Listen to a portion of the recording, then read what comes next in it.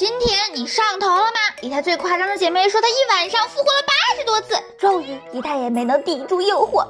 我倒要看看是什么把我的姐妹折磨成这样。听我玩消消乐十年功底，还能怕这？最主要的就是得稳，不能看到就消，要想方设法的露出更多的底部方块。下方随机发的两张牌也别急用，那都是给我们的辅助用具。要是全指着下面的俩，没一会儿就给自己憋死。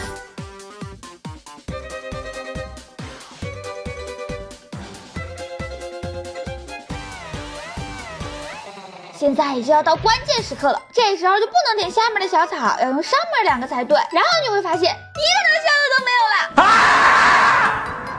嗯，那个有工具就得用嘛，不能浪费，这不就变得很简单了吗？啊！点错了，完了，点完了我才看见毛线团，出来出来。